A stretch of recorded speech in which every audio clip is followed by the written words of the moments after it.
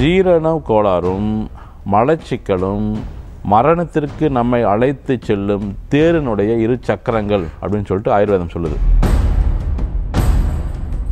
ஒட்டுமொத்தமாக எல்லா வியாதிகளுக்குமே மூல காரணமாக அந்த சிறுநீரகம் இருக்குது நமக்கு. வயிற்றை சரி பண்ணிட்டோம்னாவே உடம்புல எல்லா வியாதியும் சரியாயிடும் அப்படிங்கிறது தான் நிதர்சனமான உண்மை மறைக்கப்பட்ட உண்மை. டாக்டர் நவீன் பாலாஜியுடன் ஒரு சந்திப்பு. கேள்விகள் ஆயிரம். ஞாயிறு மாலை நான்கு முப்பது மணிக்கு நமது புது யுகத்தில்